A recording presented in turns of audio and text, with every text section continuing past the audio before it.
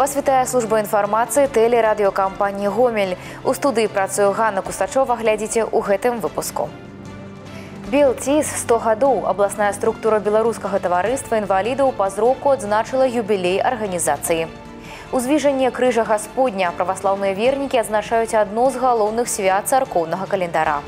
Спартыўны турнір у гомелі праходзіць спаборніцтвы па грэка-рымскай барацьбе, а зараз аб гэтым і іншым больш падрабязна. Сёння работнікі турыстычнай сферы і ветэраны галіны адзначаюць прафесійнае свята. З гэтай нагоды старшыня гомельскага аблвыканкама накіраваў усім датычным віншавання. Багатая прыродная і гісторыка-культурная спадчына гомельшчыны дазваляе сёння развіваць розныя віды турызму і прыцягваць аматараў падарожжаў з усяго свету. Апошнім часам назіраецца актыўная цікавасць да нашага рэгіёну, якая з кожным годам павялічваецца, гаворыцца ў віншаванні.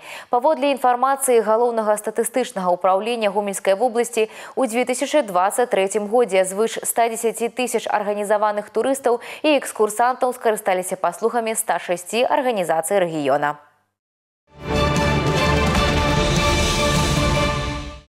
Аўтамабілем цягніком самалётам для сапраўднага турыста ўсе сродкі добрыя. У беларусі адзначаюць міжнародны дзень турызму. Калі гаварыць аб відах турпаслуг то ў сінявокай развіта сёння 13 напрамкаў. Як ідуць справы з турызмам на гомельшыне даведвалася ірына драбышэўская Хочаце вернуцца ў басаногае дзяцінства, тады вам сюды, у вёску Батвінава. Жадаеце вярнуцца ў яшчэ больш далёкае мінулае, тады вам сюды ж. Прыкладна так матывуюць турыстаў прайсці тур выхаднога дня ў Чачэрску. Сольки добавим крышечку. Сода, сахар, дрожжи. У мясцовым музеі хлеба раскажуць і пакажуць увесь шлях хлеба ад поля да стала. І тут з задавальненнем парушаць музейнае правіла, што рукамі экспанаты не чапаць. Можна не толькі дакрануцца да гісторыі, але і паспрабаваць яе на смак. Але спачатку старадаўні сямейны сакрэт вытворчасці. Гаспадыня музея Ірына Нікішава пранесла яго праз стагоддзі. Гэта дзьмухнуць чатыры разы ў дзежку, чтобы хлябок быстрее падышоў. Тым самым мы яго перакрышчаем яшчэ ўнутры. Экскурсаводы палескага інтэрактыўнага праекта задаволяць і дапытлівасць турыстаў і іх апетыт. Унікальны экскурсійны праект у ліку лепшых па вобласці. Это место, куда надо э, хотя бы раз э, в жизни, но побывать. И деткам, и взрослым. Там у нас э, есть подворье, э, живой уголочек, где у нас э, детки могут пообщаться с козой Манькой, с кроликами. Тяга к деревенской жизни, особенно у городских жителей, это хорошо приветствуется. Делаем мастер-классы по выпеканию э, хлебобулочных изделий, как раньше назывались сковородники. Продвигаем белорусскую кухню, можно так даже сказать, что и картошка с печки, там э, даем дегустировать им. У міжнародны дзень турызму гомельшчына так бы мовіць не ў баку. Десятка лепшых прадстаўнікоў турызму ў рэгіёне з нагоды свята за одним столом. Это и э, наши представители из производственного объединения «Кристалл», это экскурсоводы, которые работают по городу Гомелю, по городу Мозырю, это и работники, которые оберегают, сохраняют, передают э, историко-культурные определенные ценности, да, э, вот, э, оставляя, так сказать, историю, передавая в поколение поколение через поколение в поколение. Вот. И, конечно же, это э, те люди, которые непосредственно у нас представляют и ремесленников, да, но ремесленников, которые непосредственно работают в рамках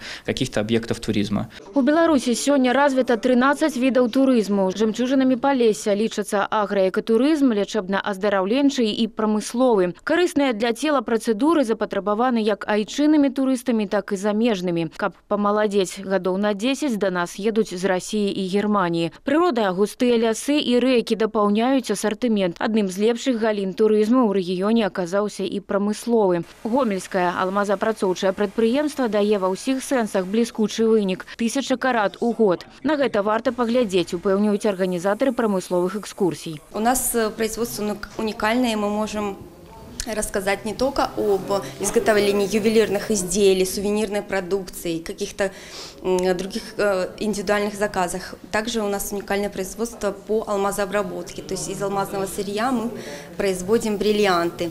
На, на экскурсии можно воочию увидеть этот э, весь уникальный трудоемкий процесс. Сюрпризом для каждого гостя может стать э, то, что он получит в подарок в конце экскурсии. Это будет ювелирное изделие. Святочная дата для работникаў турызму не адзіная нагода для ўрачыстасцей. Айчынны турызм набірае абароты. Статыстыка за апошнія тры гады расце. Напрыклад, сёлета экспарт турпаслуг за адно толькі паўгоддзя вырас на 50% у параўнанні з мінулым годам. Ірына Драбашэўская, Владзіслаў Казлоў, тэлерадыёкампанія «Гомель». Беларусь за карысны адпачынак, удасканалення праграмы аздараўлення, павышэння ўзроўню наведвальнасці, камфартабельнасць. Гэтыя і іншыя пытанні па развіцці лячэбна-аздараўленчага турызму абмеркавалі ў рэчыцкім раёне на нарадзе рабочай групы міжведамаснага савета па турызме, створанага пры савеце міністраў Беларусі. Падрабязнасці ў сюжэце Данііла Дробатава. З кожным годам санаторыі здраўніцы гомельскай вобласці становяцца ўсё больш папулярнымі. За першую палову 2024 колькасць набытых путёвак вырасла больш чым на 110 процентаў. У параўнанні з аналагічным перыядам мінулага года амаль 14 тысяч наведвальнікаў грамадзяне 60 замежных дзяржаў. Гэта яшчэ раз даказвае, што курорты гомельскай вобласці папулярныя не толькі сярод жыхароў рэгіёна, але і сярод аматараў аздараўленчага адпачынку з іншых краін. По выручке и вовсе динамика 37%.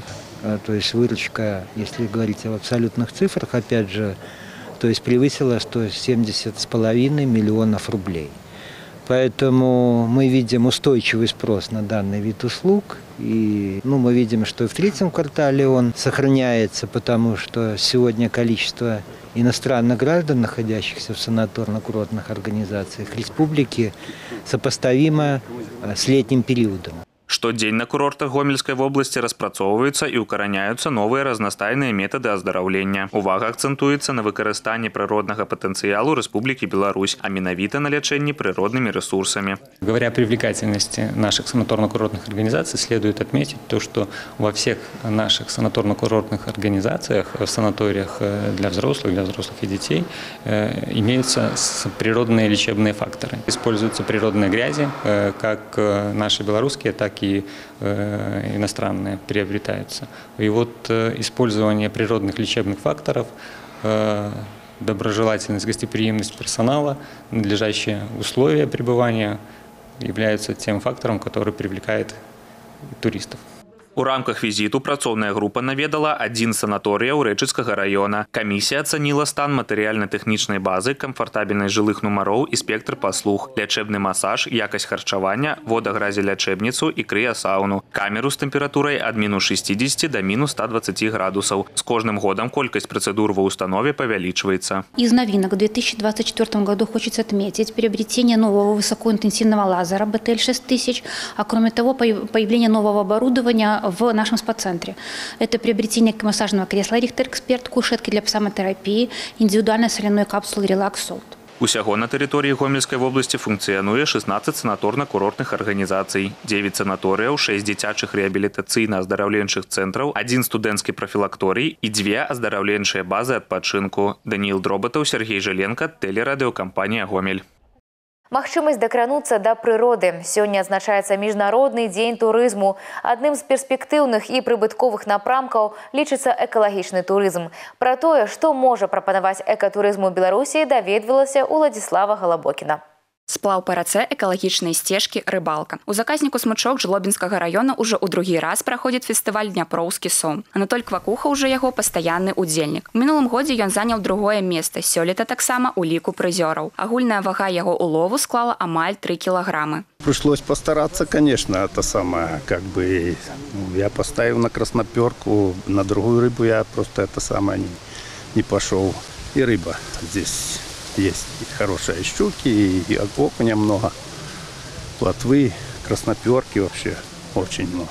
Маст-хэвам гэтага года для жлобінскага раёна стаў сплаў на байдарках. Цяпер гэта любімая актыўнасць усіх наведвальнікаў заказніка. А для тых, хто хоча паглядзець, дзе зліваюцца рэкі беразіна Дняпро, ёсць варыянт сплаву на маторнай лоцы працягласцю ў 10 з палова кіламетраў. Не меншай папулярнасцю па словах прадстаўнікоў заказніка карыстаюцца экалагічныя сцежкі. Параллельно еще строится катуристическая база.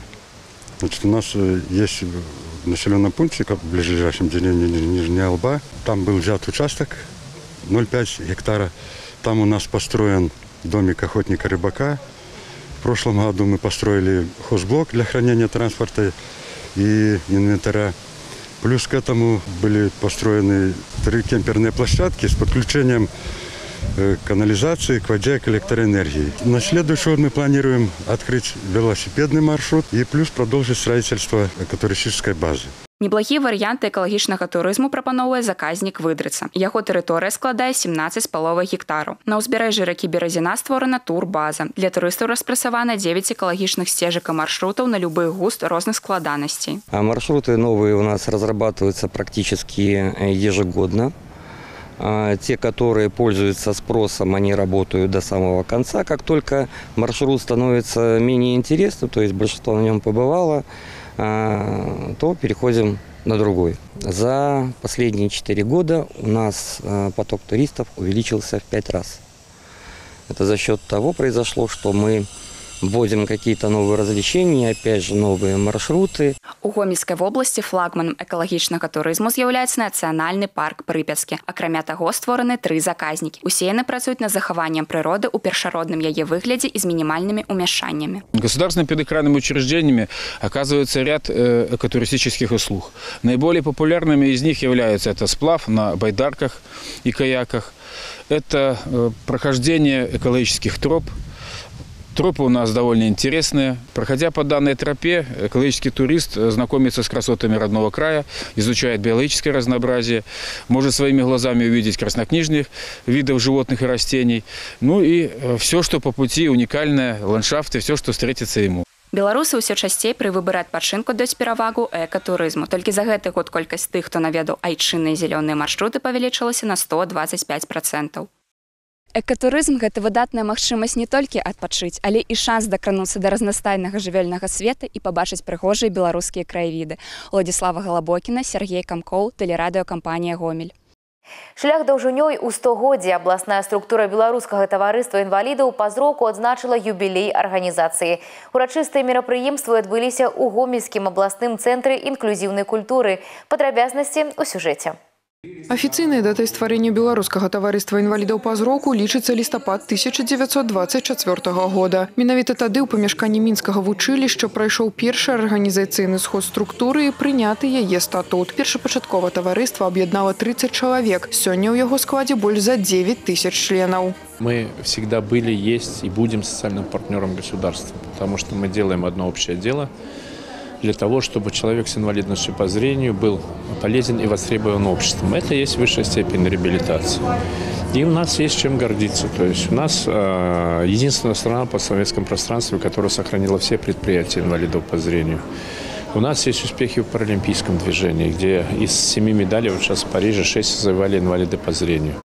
Гомельскую областную структуру Белціс узначальвае Александр Баўдуе у шэрагі таварыства кіраўнік уступіў у 2005 годзе. Да гэтага працаваў на светлатэхніцы майстрам, дзе кіраваў брыгадай інвалідаў па зроку. У 2007 годзе актывіста заўважылі і прапанавалі стаць старшынёй рэгіянальнай структуры. Зараз у складзе гомельскага Белціс каля 900 членаў. Нягледзячы на час, асноўныя мэты застаюцца ранейшымі. Працоўная сацыяльная рэабілітацыя інвалідаў па зроку. Чтобы уже наши инвалиды могли самостоятельно приходить на работу, э, самостоятельно значит, мы могли и приходить э, ну, различные структурные подразделения. И когда пошла эта тактильная плитка, пошли значит, э, электронно-речевые информаторы, это дали очень большой плюс. И, и человек, который значит, идет, он же сам знает, куда он пришел, ему речевой информатор сообщает, какое здание, с какой стороны заходить. У основе любой организации стаяць актыўныя ініцыятыўныя людзі і менавіта дзякуючы ім яна расце і развіваецца. Такім чалавекам з'яўляецца Наталья Александрович сваім прыкладам працы і падтрымкай прадстаўнік арганізацыі з мазыршчыны дапамагае адаптавацца інвалідам па зроку да жыцця ў грамадстве.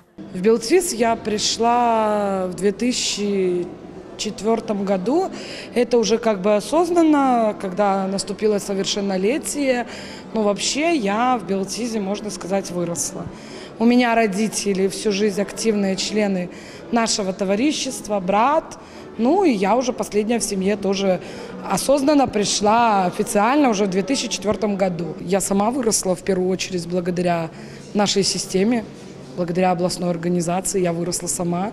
Я сама много чему научилась. Благодаря нашим членам организации, благодаря им я учусь, продвигаюсь вперед.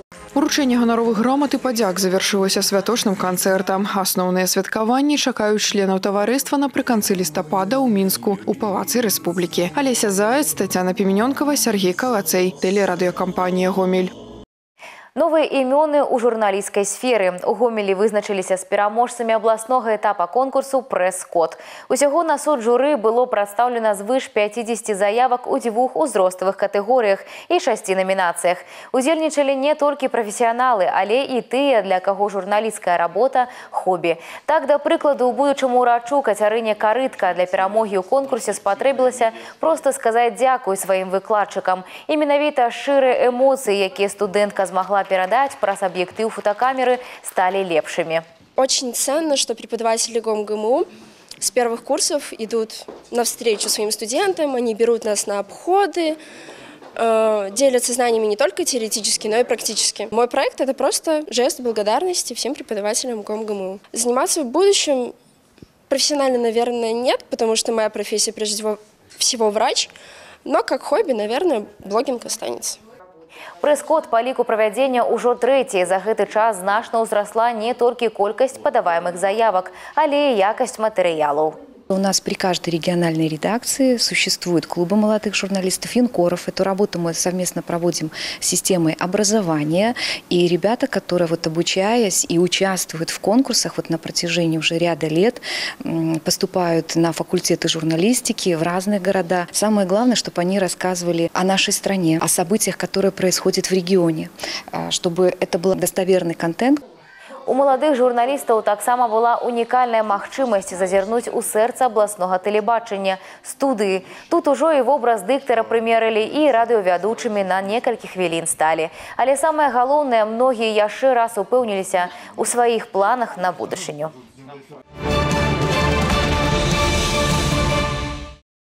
Праваслаўныя вернікі сёння адзначаюць свята ўзвіжання крыжа Гасподня. У праваслаўным календары ён уваходзіць у лік 2 на дзясятых. Гэта значыць адзін з 12 найбольш важных. У гэты дзень хрысціяне ўспамінаюць дзве падзеі. Як гаворыць царкоўнае паданне, крыж быў знойдзены ў 326 годзе ў Іерусаліме. Адбылося гэта каля гары Галгофы, дзе быў распяты збавіцель. Другая падзея вяртання жыватворчага крыжа з Персіі, дзе ён знаходзіцца знаходзіўся ў палоне. У сёмым стагоддзе яго вярнуў у Іерусалім грэчаскі імператор Іраклій. Абедзве падзеі аб'ядновыя ў назве свята тое, што здабыты крыж перад народам узводзілі. Гэта значыць узнімалі. Это день, когда в IV веке крест был найден. Иисус Христос был распят в первом веке нашей эры в городе Иерусалиме. Затем в силу разных исторических событий Иерусалим был разрушен, опустошен, и город практически исчез с лица земли.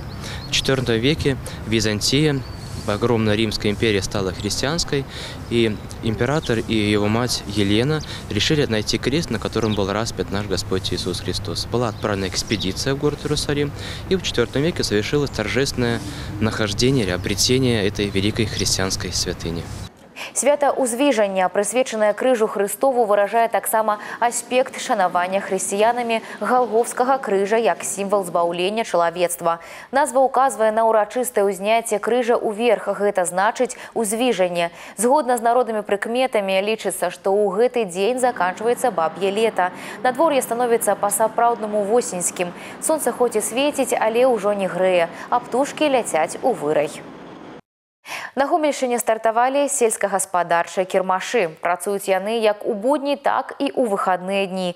Рэалізоўваць прадукцыю штодня будуць фермерскія сельскагаспадарчыя прадпрыемствы, суб'екты гандлю, грамадскага харчавання і бытавога абслугоўвання, пчалярства і гадавальнікаў.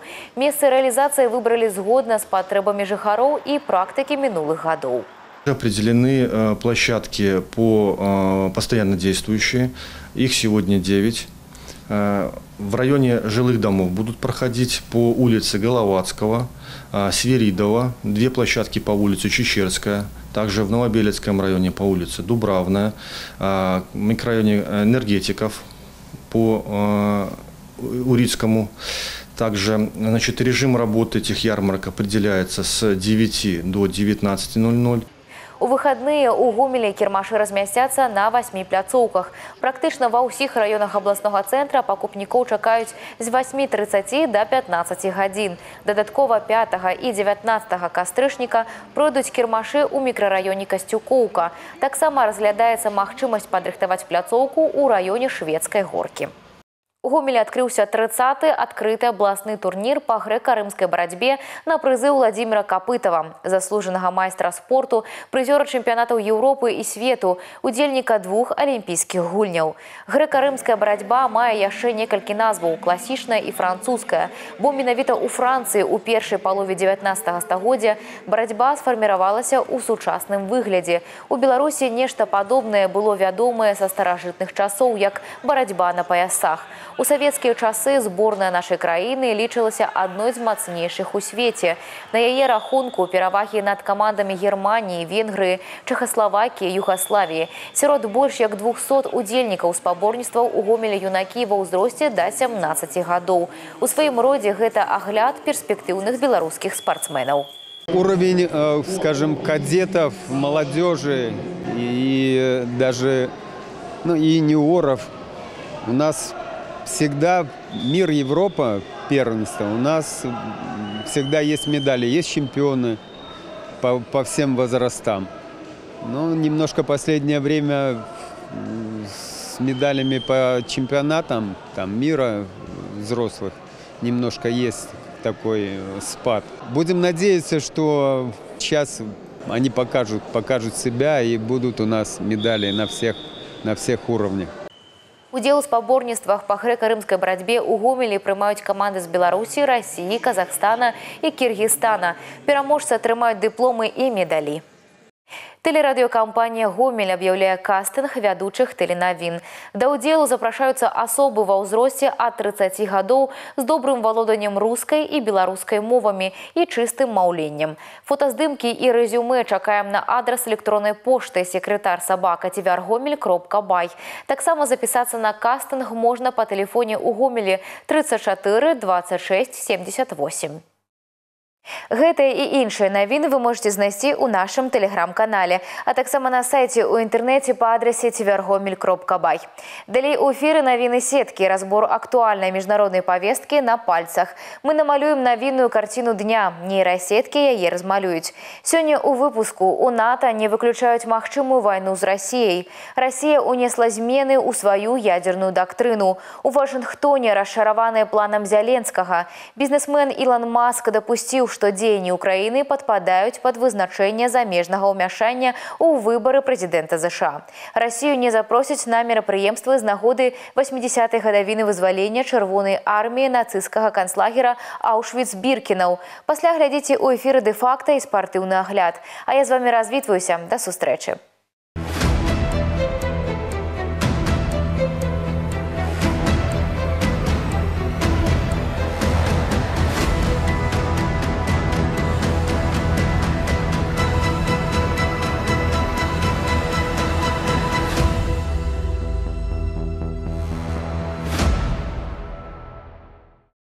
НАТО строит планы относительно конфликта с Россией, а та отвечает модернизацией ядерной доктрины. У Зеленского проще. Он устраивает комик-шоу на сцене Генассамблеи ООН.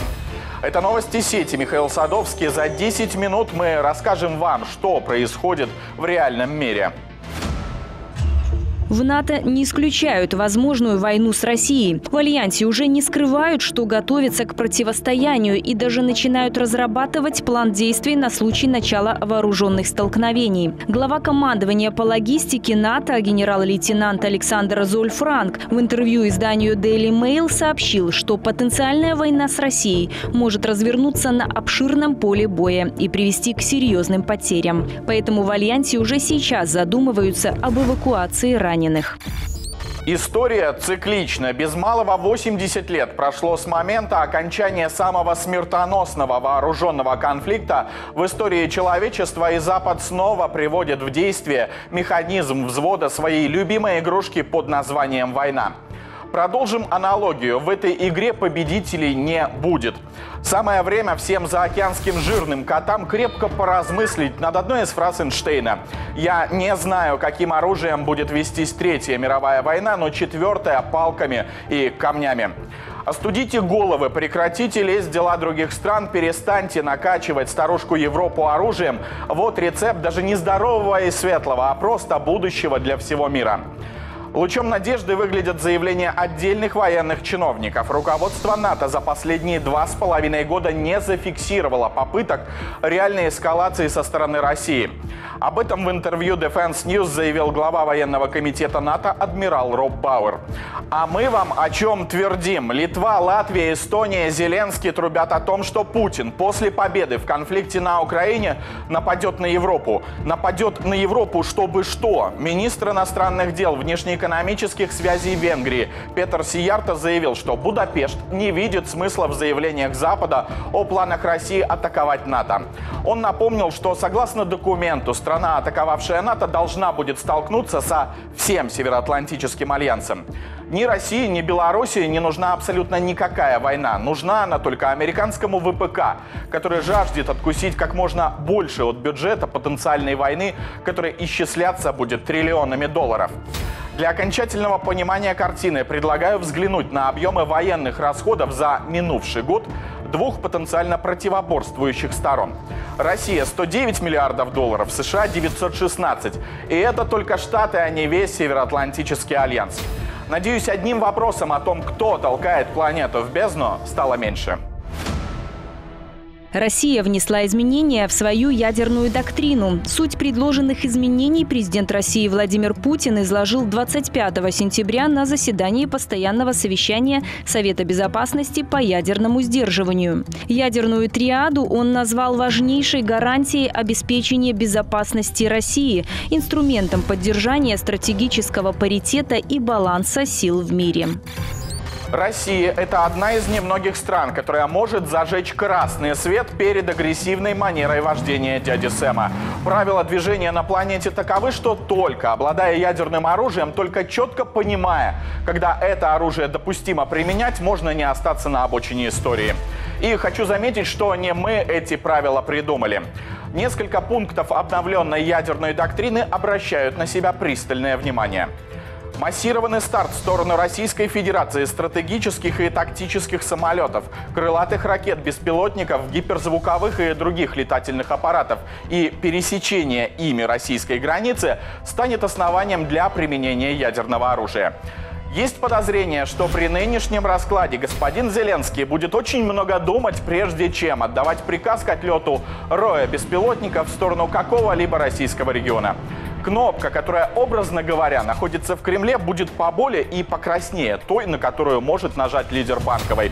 Думайте, Владимир Александрович, думайте. Подумать о том, а стоит ли искоса и хищно поглядывать в сторону Беларуси, также рекомендуем. В случае агрессии против нашей страны Россия оставляет за собой право применить ядерное оружие. Об этом заявил президент России Владимир Путин на заседании постоянного совещания Совета безопасности Российской Федерации по ядерному сдерживанию, сообщает Белта со ссылкой на пресс-службу Кремля на пальцах. Превратить Беларусь в полигон для отработки натовских методов ведения войны, как это было сделано с Украиной, теперь не получится. Администрация президента США Джо Байдена обеспокоена тем, что план украинского лидера Владимира Зеленского по победе над Россией не имеет комплексной стратегии и представляет собой не более чем переформулированную просьбу о предоставлении большего количества оружия и снятии ограничений на ракеты большой дальности, заявили американские официальные лица газете The Wall Street Journal. Только на презентации мирного плана дело не закончилось. Эскапада – это экстравагантная выходка или стремление личности уйти от действительности в мир иллюзий и фантазий. Это если со словарем. Если нужно проще, то все то, что делает на международной арене Зеленский, прекрасно попадает под обсуждаемый термин. С трибуны Совбеза ООН он выступил против проведения переговоров с Россией для урегулирования конфликта. Помимо этого, Зеленский раскритиковал мировых лидеров, желающих разговора с Владимиром Путиным «Стоп». Лидер Банковой во всеуслышание заявил о том, что мирного исхода конфликта быть не может, и либо победит одна воюющая сторона, либо вторая, что будет означать перерастание войны в глобальный режим. Если объективно, то для Зеленского у меня очень плохие новости. Да и о каком игнорировании России со стороны адекватной части мирового сообщества может идти речь? Министр иностранных дел КНР Ван И не захотел слушать выступление Владимира Зеленского на Генеральной Ассамблее ООН. Любопытно, что Ван И предпочел выступлению Зеленского встречу с главой российской делегации Сергеем Лавровым, в ходе которой они обсудили более важные международные вопросы. Если украинский лидер и дальше продолжит вести себя так, как ведет, ему и его соратникам впору будет вспомнить забытый со времен COVID-19 термин – самоизоляция. Бизнесмен Илон Маск допустил, что действия Украины подпадают под определение иностранного вмешательства в выборы президента США. Таким образом, Маск ответил на твит спикера Палаты представителей Конгресса США Майка Джонсона, который призвал Зеленского отправить в отставку посла Украины в США Оксану Маркарову за организацию его поездки на оборонное предприятие. Несколько месяцев лучшие умы планеты бьются над вопросом, а на чьей стороне играет Зеленский, когда якшается с демократами. Лично мне кажется, что Трамп от таких встреч просто в восторге. В американском обществе назревает понимание того, что Камала Харрис – это тот человек, руками которого могут разжечь глобальный конфликт. Зачем это простому американцу, живущему на окраине Бруклина, непонятно. Новый опрос CNN показал, что среди потенциальных избирателей по всей стране 48 поддерживают Харрис, 47 Трампа, что свидетельствует об отсутствии явного лидера в гонке. Около 2% заявили, что планируют голосовать за либерала Чейза Оливера и 1% за кандидата от партии «Зеленых» Джилл Стайн. Внезапно для многих оказалось, что в Штатах помимо демократов и республиканцев есть и другие кандидаты. Например, на выборах 2020 года в США в бюллетенях был рэпер Кайни Уэст.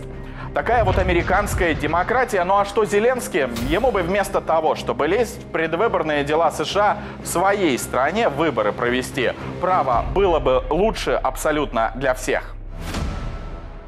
Решение Польши не приглашать Россию на мероприятие по случаю 80-й годовщины освобождения Красной армии нацистского концлагеря Аушвиц-Биркенау, но при этом пригласить тех, кто создал этот лагерь, является извращением. Об этом заявил президент Сербии Александр Вучич на полях Генассамблеи ООН в Нью-Йорке. Как в 21 веке можно издеваться над историей, написанной кровью советских солдат, мне непонятно. Чем нужно думать, кем нужно быть, чтобы отрицать ключевую роль Красной Армии в победе над коричневой чумой и освобождении Европы от нацизма? Вучич озвучил трезвую мысль. Нет ничего лучше встречи вместе, где каждый сантиметр, каждый кирпич напоминает о том, куда может завести человеческая жестокость. К еще одному заявлению сербского лидера. Александр Вучич заявил, что сейчас мир находится на грани ядерной катастрофы из-за конфликтов, которые происходят на Ближнем Востоке и на Украине. Об этом информирует сербская газета «Новости». Непростительно, что сегодня, в 21 веке, мы говорим об ужасных цифрах, которые связаны с гибелью детей. Это кажется совершенно невероятным. Что называется, подпишусь под каждым словом президента Сербии. Еще раз напомню, что даже нейросети замер. На светлой стороне силы они помогают рисовать новостную картину дня. Это были новости сети. Михаил Садовский. Пока.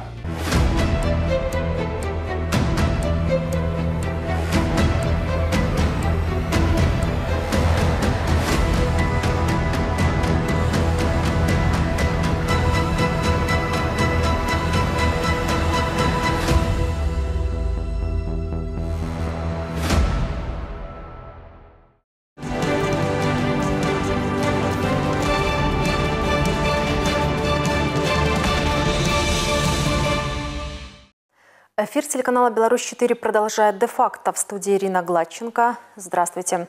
В Гомеле задержан оптовый закладчик. Фигурант около двух месяцев работал курьером на интернет-магазин по продаже наркотиков.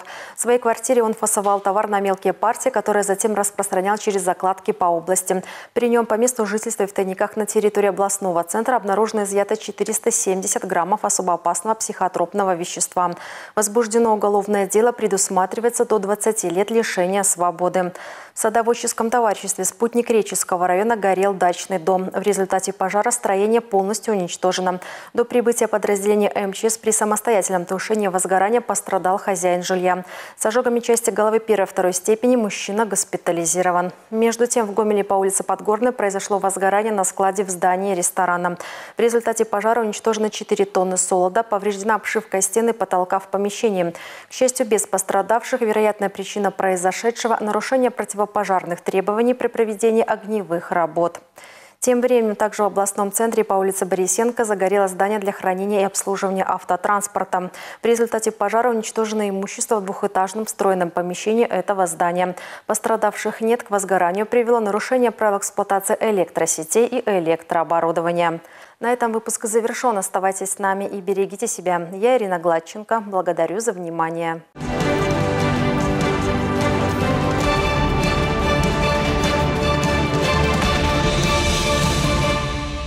Хоккеисты Гомеля потерпели четвертое поражение подряд в чемпионате Беларуси. На этот раз подопечные Владимира Копотя уступили на своем льду Аршанскому локомотиву. Гомельчанам удалось отыграться со счета 0-2 в третьем периоде. Но в серии булитов сильнее оказались гости. В итоге победа локомотива 3-2. В составе гостей отличились Буровцев и Игнатов. За гомельчан забивали Субхи и Феофанов. В таблице экстралиги Гомель находится на 11 строчке. Лидирует Динамо Молодечно, Юность вторая вторая, а «Локомотив» на третьей позиции.